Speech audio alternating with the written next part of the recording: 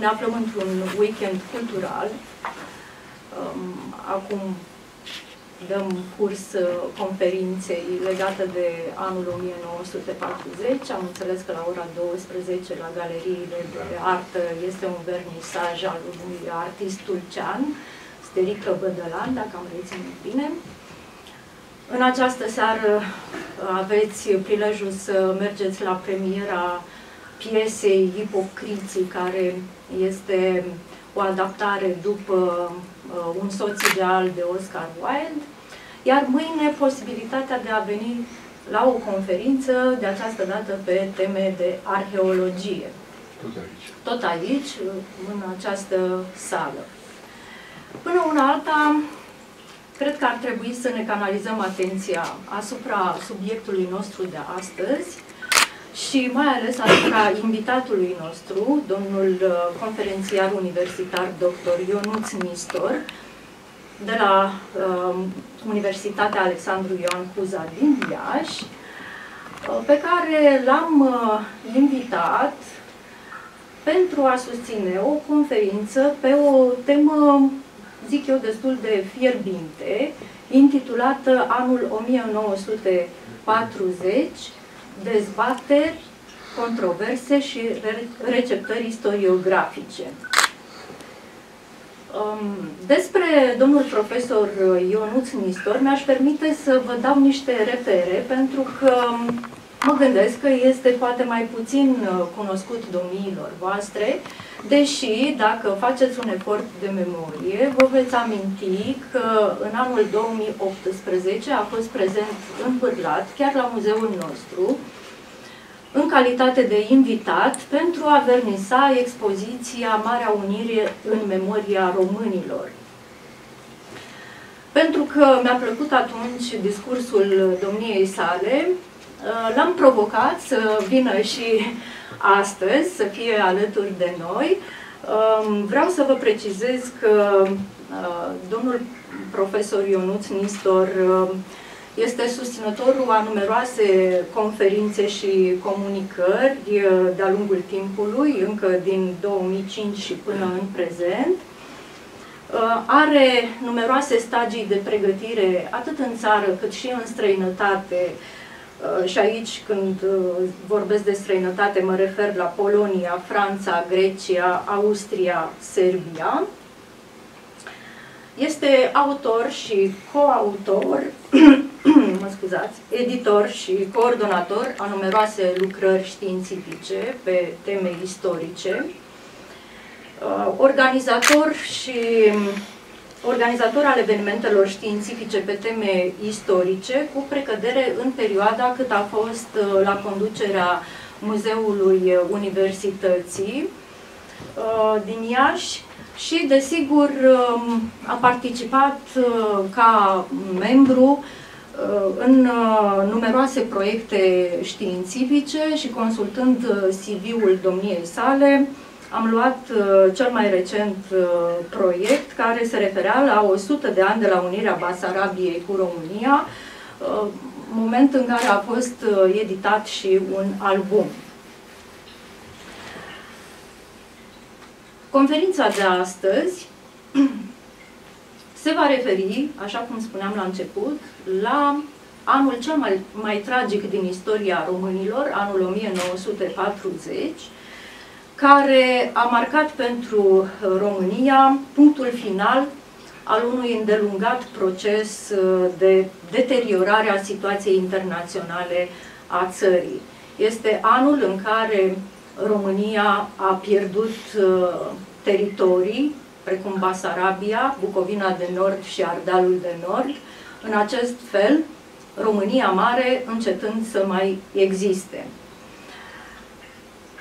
Conferința de astăzi, uh, în cadrul ei, vor fi analizate evenimentele din primăvara, vara anului 1940, atât în context intern cât și internațional, pentru a stabili, așa cum uh, mi-a spus domnul uh, profesor înainte de a uh, trece la organizarea propriu-zisă a acestei conferințe, pentru că i-am cerut câteva detalii, pentru a stabili pe ce baze au fost luate deciziile de cedare teritorială, ce surse au influențat opinia autorităților, cum au funcționat rețelele și fluxurile de informații, cum și cine a decelat în întreg noianul de știri, de multe ori antagonice.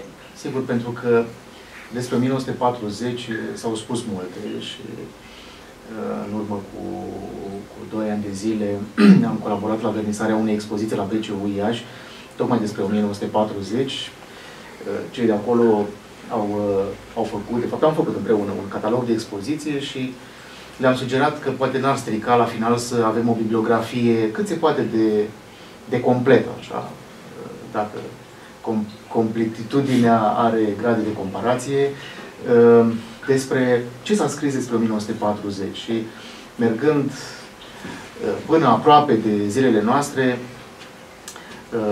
am, am ajuns să inventariem un număr de cărți și studii, da? începând chiar din, din imediata proximitate a anului, deci de la, de la uh, finalul anilor 40, uh, un număr de aproximativ 100 de cărți, studii publicate, cele pe care le-am identificat noi, sigur, poate să mai mult. Asta arată un interes major pentru, uh, pentru subiect. și sigur că uh, este un interes major pentru că este un subiect care doare. Da, doare și astăzi, s-au pus multe întrebări, mai ales în registrul responsabilității sau, aș spune mai degrabă, a vinovăției. Da? Pentru că acest uh, subiect ajunge în spațiul public și, de regulă, uh, cei care glosează pe, pe această temă se întreabă, bun, și cine este vinovat de ce s-a întâmplat în 1940? Uh, Acum, ca istoric, vă spun că nu sunt, uh, sau sunt istoric, nu sunt procuror, nu o să vă uh, spun cine e de vină, că nu lucrăm cu vinovății. Încerc doar să identific anumite responsabilități ale deciziilor. Da? Uh, pe de o parte. Pe de altă parte, încerc să nu intru în, în ceea ce noi numim if history, adică ce s-ar fi întâmplat dacă. Sigur, E interesant acest ce s-ar fi întâmplat dacă, dacă nu, dacă da.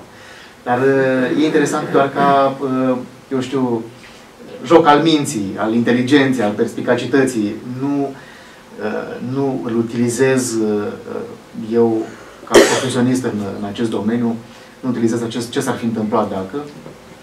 Și nu, vă spun, nu o să vă spun ce s-ar fi întâmplat dacă, ci doar încerc să, să vă prezint, așa cum foarte foarte bine ați, ați auzit uh, înainte, uh, să vă prezint câteva lucruri legate de acest circuit al informației. De fapt, când s-au decis aceste cedări teritoriale, autoritățile române aveau pe masă niște informații. Da? Cine le-a furnizat? Ce tipuri de informații au existat? Deci pe ce baze s-au luat anumite decizii? Asta ar fi, asta ar fi uh, important pentru a ajunge la ideea de responsabilitate. Nu ți asumi ceva având pe masă o serie întreagă de, de documente, de date, de evidențe. Da? Deci, uh, care a fost circuitul acestor informații? Ce uh, date certe aveau autoritățile pe masă, de unde au venit ele, care, au, care a fost sursa informărilor și, desigur, uh, cum au fost uh, interpretate aceste decizii de către istoriografie, istoriografia română. Pentru că, sigur, spuneam de la început că este un subiect care încălzește și uh, istoricii și-au construit de-a lungul timpului perspectiva, fiind prizonieri, fără voie, și este absolut firesc să întâmple așa, prizonierul propriilor documente sau documentelor pe care ei le-au citit. Sigur, este un ideal, uh, adevărul istoric, dar uh, ca orice ideal, uh, el se plasează tot mai departe de noi cu cât avem impresia că ne, ne apropiem de el. Și prin ceea ce am spus, nu, nu, iarăși nu uh, acuz sau nu uh, încadrez în registre negative pe cei care au scris uh, despre subiect, ci doar, ci doar spun că există perspective multiple, prizoniere ale surselor pe care uh, unii sau alții din, dintre istorici le-au uh, le-au uh, consultat. Pentru a uh, fi uh, coerent, articulat în ceea ce, în ceea ce spun, am pregătit un, un text pe care o să-l să-mi permite să-l să citesc suficient de, de rar încât să nu fie o povară, să nu fie obositoare această primă parte a interacțiunii. Am câteva imagini sub formă de hărți pe care vi le, vi le prezint.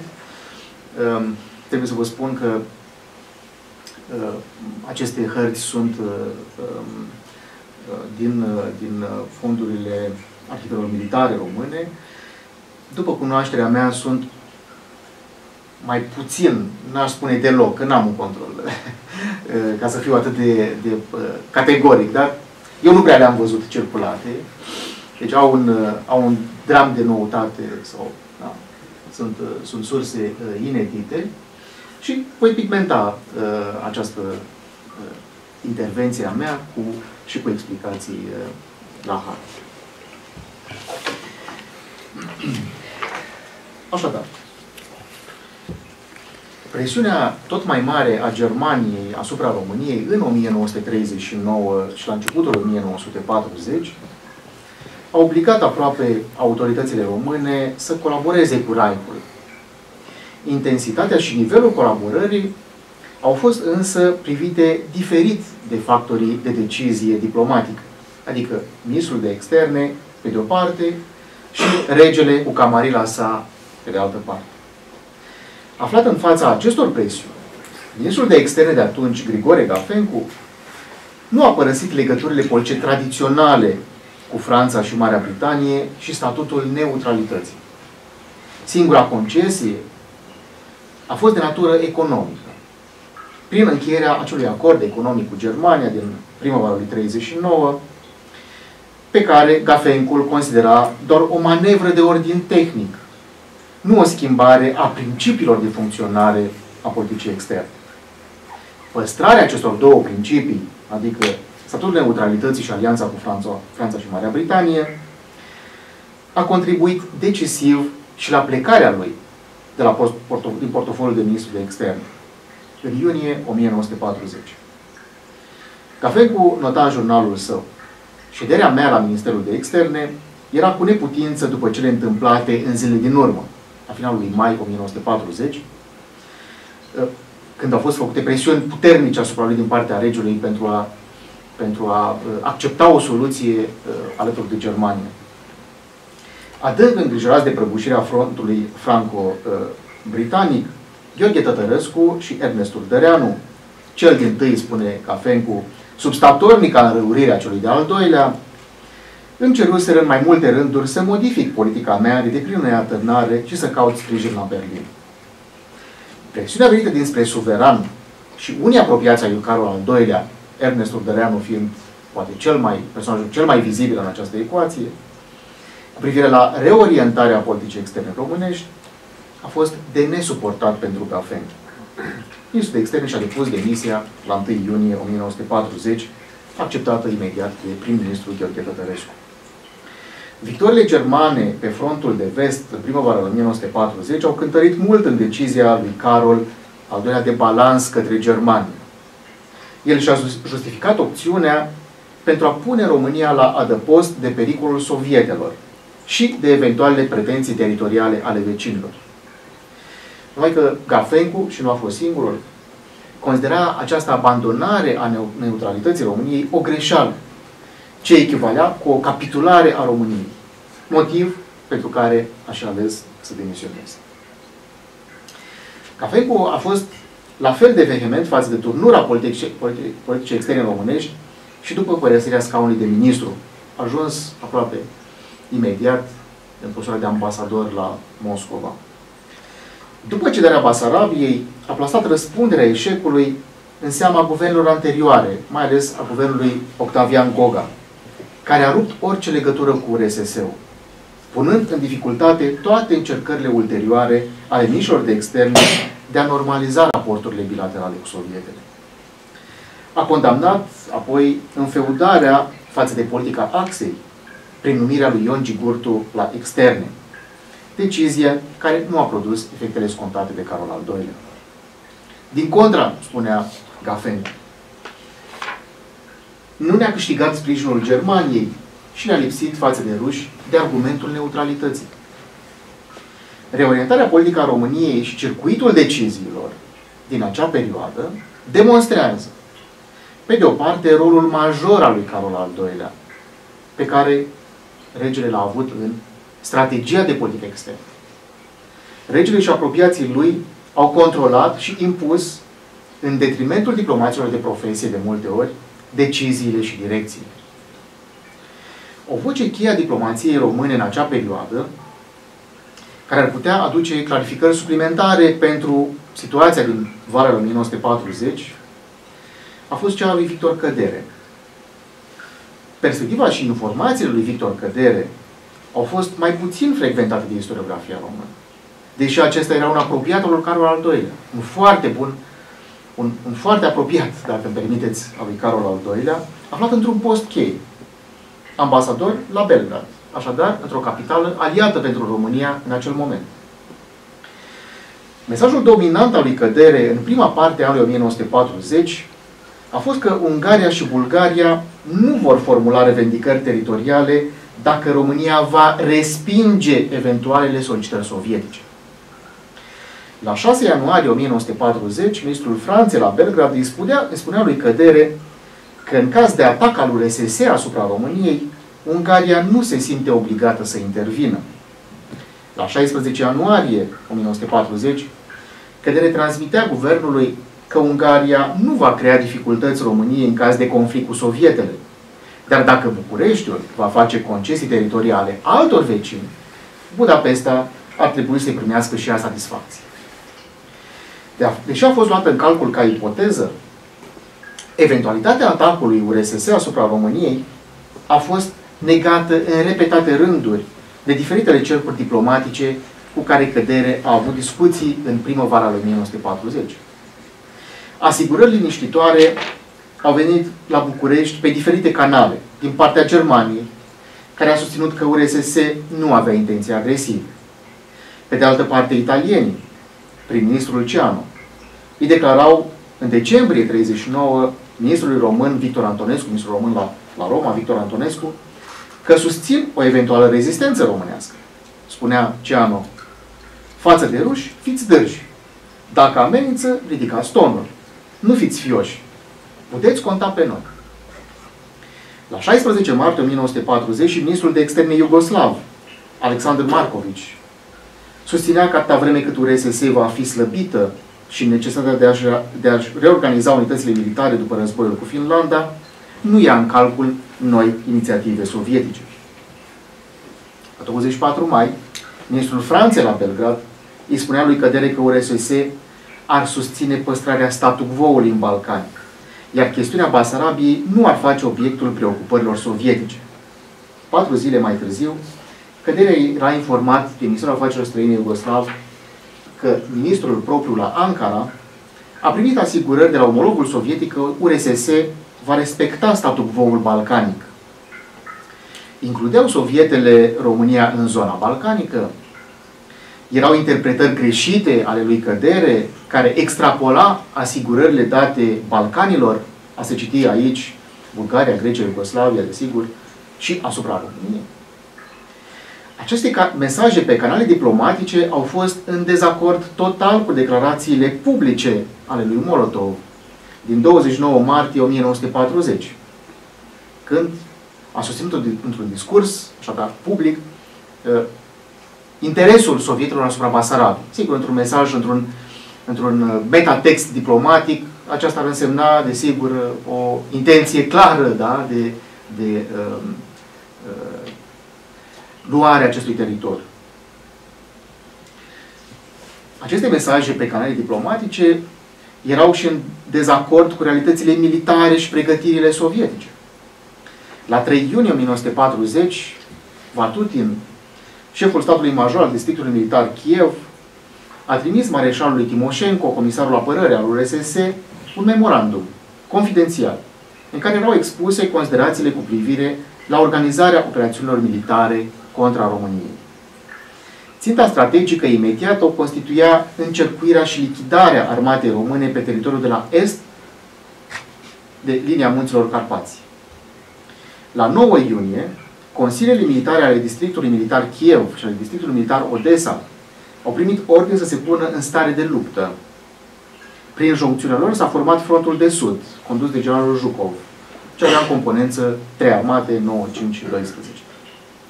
El avea ordin să se concentreze de-a lungul graniței cu România până la 24 iunie 1940. Întrebarea este, au cunoscut autoritățile române aceste informații? A luat ultimatumul sovietic prin surprindere guvernul român? Sigur, după toate aceste realități, adică realitățile militare din teren, asigurările diplomatice primite de România, cum că sovietele totuși nu pregătesc o ofensivă asupra uh, frontilor românești. Trei autori, Vitalie Vărate, Dumitru Pedra, Preda și Estelian Obiziuc, într-o lucrare relației româno-sovietice, susțin că la 27 iunie guvernul României constata că trupele sovietice erau concentrate la hotarele Basarabiei și Bucovine și se făceau lucrări de ordin strategic care lasă să se presupună intenții agresive. Vitalie Varate consideră că pregătirile militare sovietice de la, graniță, de la graniță reprezentau o mărturie indiscutabilă a intenției URSS de a formula revendicări la momentul oportun. În contextul războiului cu Finlanda, discursul și acțiunile agresive ale Moscovei la adresa României au scăzut în intensitate pentru a adormi vigilența Bucureștiului. Dar în mai 1940, URSS a încetat să mai facă un secret din proiectele sale. Și istoricul Alexandru Murat Mironov susține că România a cunoscut planurile agresive ale sovieticilor, că problema Basarabiei urma să fie deschisă de URSS într-un moment prielnic. Grigore Gafencu, pe care tot l-am invocat, îi declara ministrului sovietic în România în decembrie 39. Lumea întreagă vrea să ne certăm și să ne batem, dar noi nu. Vocile privind atitudinea URSS față de România au fost diferite chiar în interiorul corpului diplomatic românesc. La 24 mai 1940, ministrul român Mihai Ralea, într-o discuție cu Cucolev, însărcinatul cu afacerea de interim la București, Curesese la București, spunea nu există obstacole în soluționarea tuturor problemelor litigioase, precum ar fi cea a Basarab.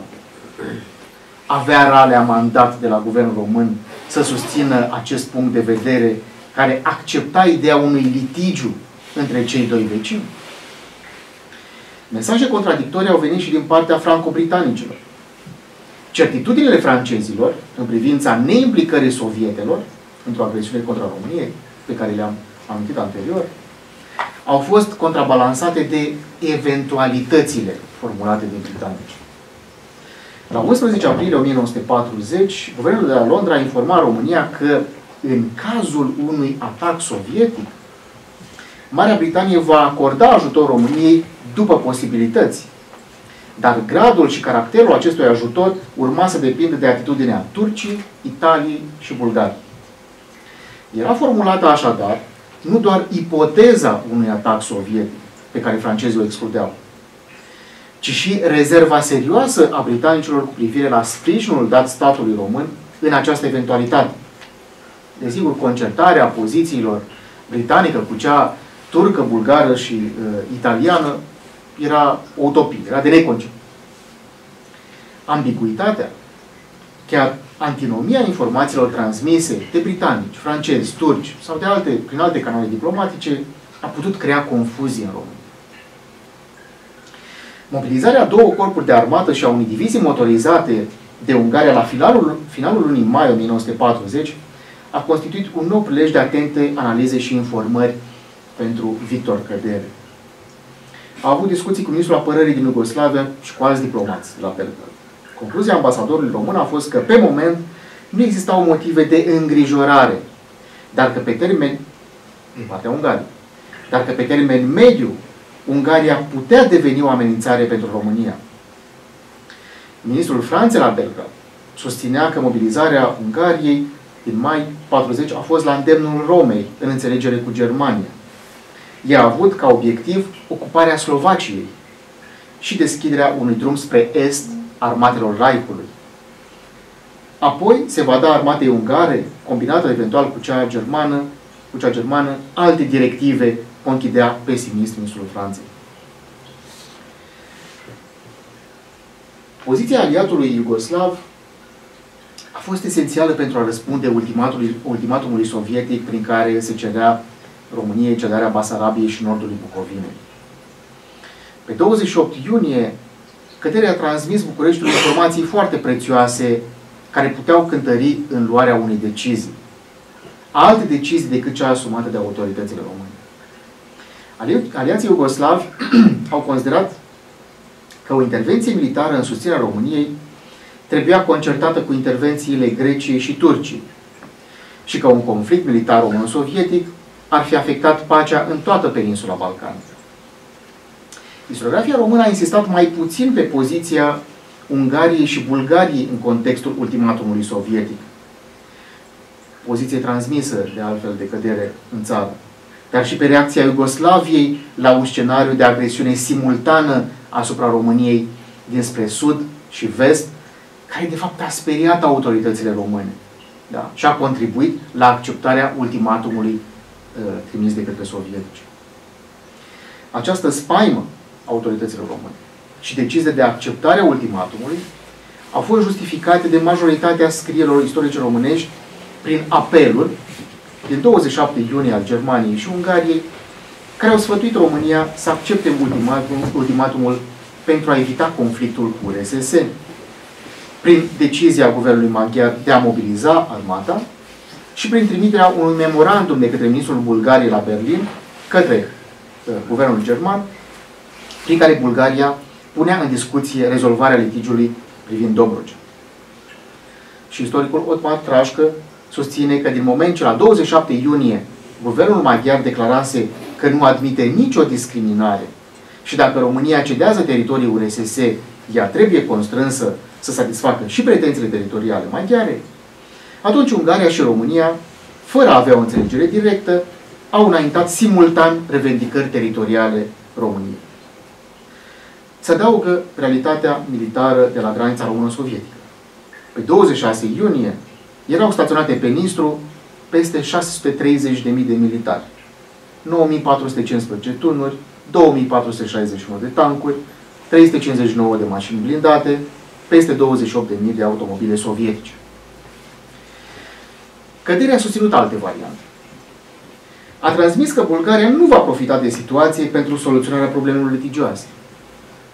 Iar Ungaria nu avea intenții agresive față de România, nici chiar în cazul în care aceasta ar fi fost forțată a apăra cu armele teritoriul contra sovieticilor. Declarațiile autorităților maghiare, maghiare au fost în acele zile contradictorii. Pe 28 iunie, Ișvan Ceachi a cerut Germaniei autorizarea unui atac contra României, motivând că la București s-ar instala, instala anarhia păguboasă intereselor economice și politice ale Germaniei. Însă Germania nu doar că nu a autorizat atacul, ci a cerut Ungariei să nu se aventureze spre est. Motivele țineau de interesele Reichului față de zonele petrolifere românești și reflecta teama germanilor de un eventual atac sovietic pe fondul conflictului româno-maghiar. Ungaria era așadar neutralizată în contextul ultimatumurilor sovietice, de avertismentele ferme ale Berlinului. Mai mult, Iugoslavia a susținut în nota oficială transmisă ambasadei române că dacă Ungaria și Bulgaria vor ataca România, Iugoslavia s-ar fi sfătuit cu Turcia și Grecia pentru a aplica obligațiile contractuale. Același asigurări a primit cădere și la Ministrul Afacerilor Străine Iugoslav și a doua zi, pe 29 iunie.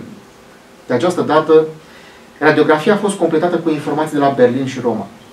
În mod consonant, ambele state ale axei au sugerat rezolvarea pașnică a diferendului teritorial româno-sovietic și au făcut apeluri la moderație către Ungaria și Bulgaria. Importantă a fost și poziția Marii Britanii. În contextul ultimatumurilor, Londra considera că garanțiile nu, e, nu mai erau valabile din moment ce Italia intrase în război de partea Germaniei.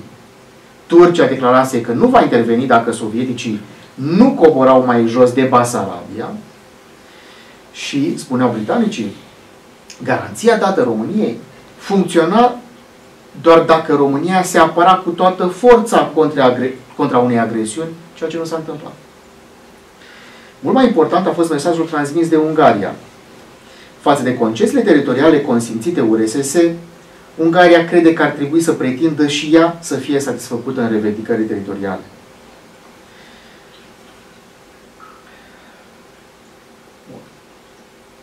Așadar, Ungaria rămânea rezervată doar în cazul în care România ar fi acceptat cererile sovietice și nu ar fi deschis cutia Pandorei. Acceptarea ultimatumului uh, de către România a fost semnalul slăbiciunii, cel care a făcut posibilă, fezabilă și cedarea teritorială către Ungaria. Și speculând acest context, Ungaria a devenit imediat după cedarea Basarabiei, nordului Bucovinei și a ținutului Helța, foarte insistentă, chiar agresivă în solicitările privind Transilvania. Poziția Budapestei a fost confirmată și la începutul lui iulie 1940, atunci când declarațiile și sondajele diplomatice din diferite capitale semnalau activarea solicitărilor teritoriale maghiare.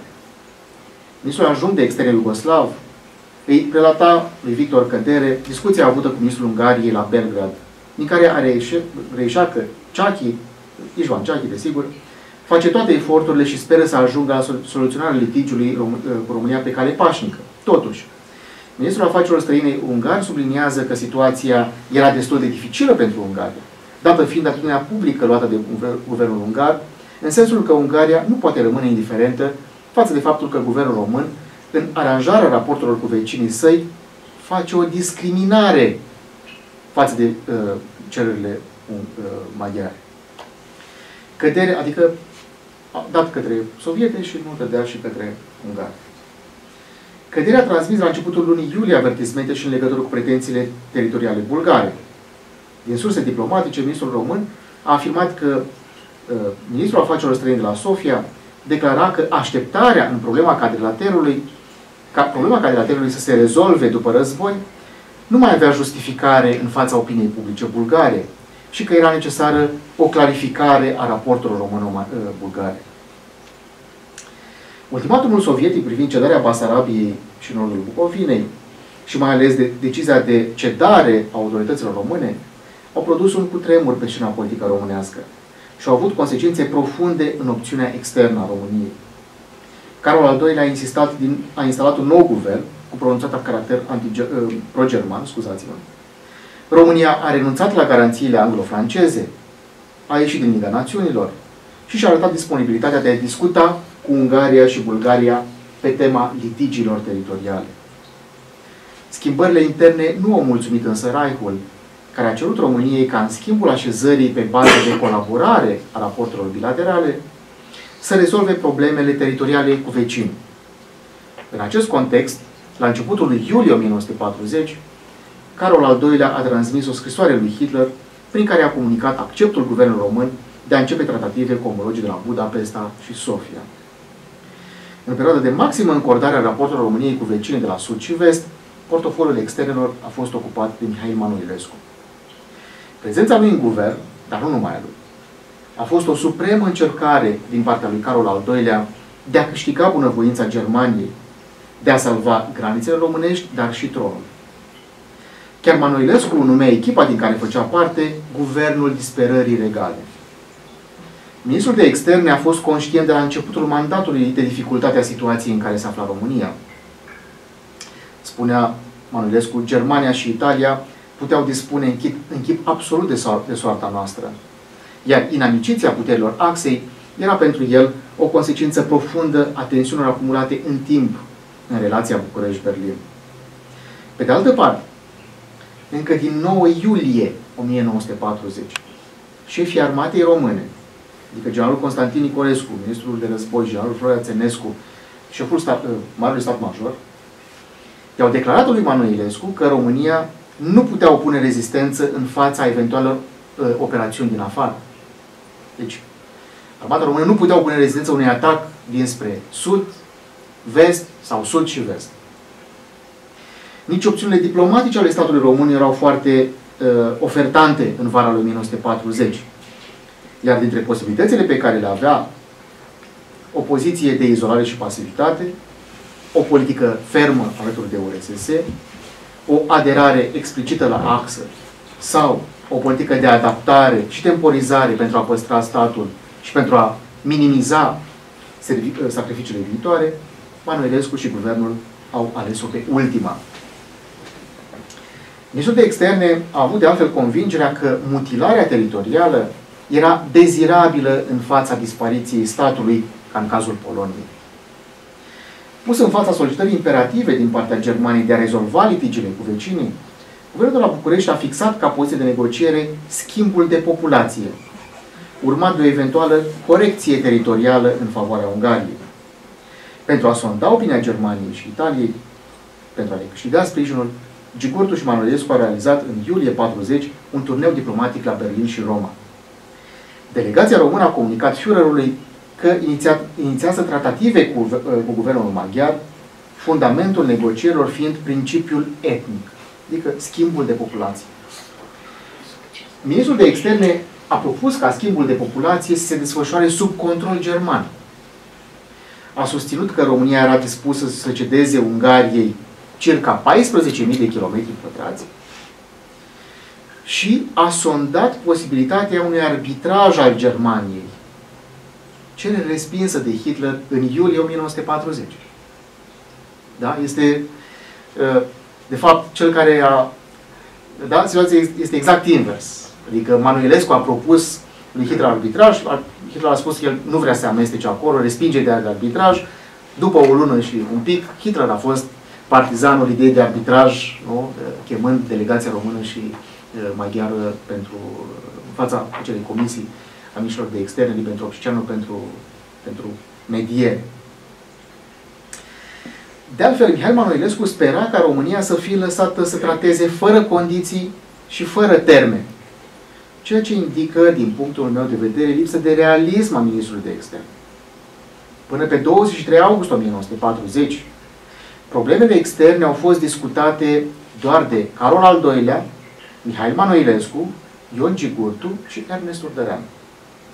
În fața iminenței cedărilor teritoriale, ei au decis târziu pregătirea opiniei publice pentru această eventualitate, fiind organizat în acest scop Consiliul de Coroană la care a fost prezentă uh, la care a fost prezentată în fața tuturor factorilor de decizie situația României. Pentru a mai tergiversa lucrurile, guvernul român a început relativele uh, cu partea maghiară la turnul Severin. Desfășurate între 16-24 august 1940, aceste discuții au fost sortite încă de la început uh, eșecului ca urmare a pozițiilor total diferite ale celor două delegații, respectiv schimbul de populații din partea versiunea românească, cedare teritorială din partea maghiară. Pentru a nu mai amâna, amâna o soluție și pentru că Ungaria proiecta un atac militar contra României, care ar fi putut atrage și intervenția URSS, Hitler a decis să arbitreze conflictul, deși anterior refuzase ideea. Acesta a fost aceasta a fost, de fapt, explicația pentru care Hitler a preluat ideea aceasta arbitrajului. Teama că uh, Ungaria, uh, în înțelegere cu URSS, puteau, puteau ataca împreună România și puteau destabiliza această zonă. Și existau premize pentru că ungurii au avut un contact foarte bun diplomatic în vara 1940 cu sovieticii. Sovieticii le-au declarat, uh, așa, într-un limbaj diplomatic, că se pot baza pe în cazul unui atac uh, împotriva României. Mihai Manoilescu a făcut parte din delegația care a plecat la 29 august la Viena pentru a participa la arbitrajul lui Ciano uh, și Ribbentrop. Mărturisea memoriile sale că a plecat cu credința că, citez, se va face un pas mai departe în raporturile cu ungurii și că tratativele cu ei vor intra într-o nouă fază după intervenția Germaniei și Italiei. Dar puterile axei nu erau pregătite pentru un arbitraj, ci pentru un dictat. Manoilescu plecase pregătit cu hărți, statistici și rapoarte pe care să le prezinte celor doi miniștri. Dar își amintea că, citez, totul apare ca o piesă scrisă dinainte, în care nici o singură vorbă, nici un singur gest nu se poate schimba. Ministrul de Externe își amintea uh, noaptea de 29 spre 30 august, deci noaptea dinainte de prezentarea uh, condițiilor, și citesc din nou, ce s-a petrecut în toiul nopții, nici nu s-ar putea povesti în detaliu. Nimeni n-a mâncat, nimeni n-a dormit. Cifrarea telegramelor, telefoanele care zbărneau în trei săli deodată, întrebările enervante care veneau de la București, apăsarea catastrofei iminente care ne aștepta, era o atmosferă de infern. Pe 30 august, Germania și Italia prezentau delegațiilor României și Ungariei soluția împărțirii Transilvaniei, Mihail Manoilescu leșinând la vederea hărții. În paralel s-au desfășurat și tratativele româno-bulgare de la Craiova, finalizate în primele zile ale lunii septembrie prin tratatul care prevedea cedarea cadrilaterului către Bulgaria și schimbul de populație. Eșecul diplomatic și cedările teritoriale au avut ca efect politic abdicarea regiului Carol al II-lea, căderea guvernului și venirea la puterea generalului Ioan Antonescu și a unui executiv din care mai făceau parte și membrii gărzii de fier. După aceste cedări teritoriale, suprafața României a fost redusă cu peste 100, 100 de mii de, circa 100 de mii de kilometri pătrați, adică 31,4% din suprafață, uh, iar pe teritoriile desprinse, recensământul din 1930 înregistrase o, o populație de 6 milioane 161 de mii de locuitori, adică 34,1% din populația țării. Trebuie să îi mulțumim uh, foarte mult domnului profesor Ionuț Nistor pentru faptul că și-a făcut timp să vină astăzi aici și sperăm să mai reveniți la Bârlad. Îl aplaudăm pentru a prezentat momentul anului 1940. Vă mulțumesc dumneavoastră că ați avut plăcerea și disponibilitatea să veniți astăzi aici și vă doresc o zi de sâmbătă care să se încheie frumos.